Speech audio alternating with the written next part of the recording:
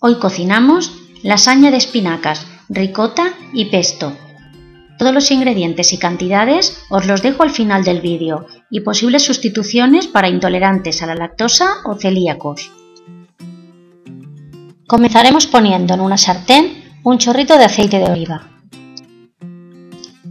Ponemos las espinacas ya limpias y cortadas y dejamos que se hagan por su propio vapor, a fuego medio, con la tapa puesta.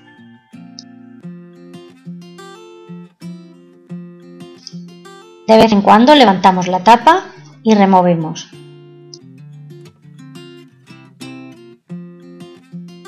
Cuando veamos que ya están cocidas, echamos un poquito de sal y apagamos el fuego. Engrasamos la bandeja con un poquito de mantequilla.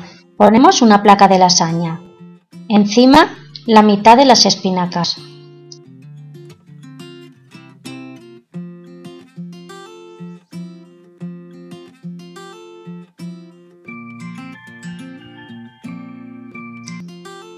Sobre las espinacas desmenuzamos la mitad de la ricota o el requesón.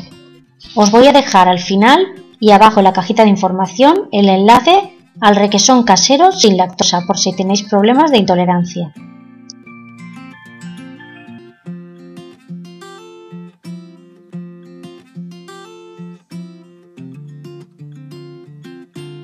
Sobre la ricota pondremos unas cucharaditas de salsa al pesto.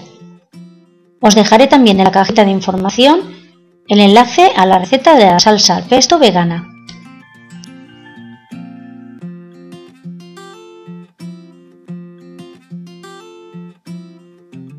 Cubrimos con un poquito de bechamel para que quede más jugosa. Os dejo también al final y en la cajita de información el enlace a la receta de la salsa bechamel.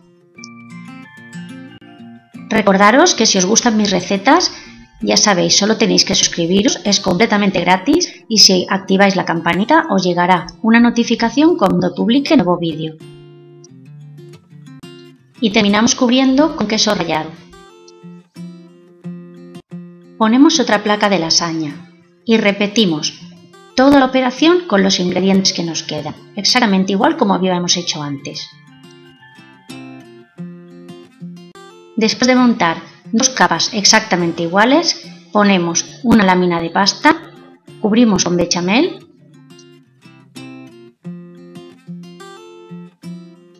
queso rallado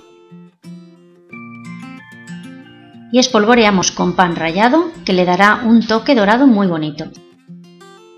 Horno precalentado a 200 grados, calor arriba y abajo, 20 minutos o hasta que esté dorada. Mirad qué jugosa queda, es mi lasaña favorita y cuando la probéis también será la vuestra. Hasta la próxima receta, un beso.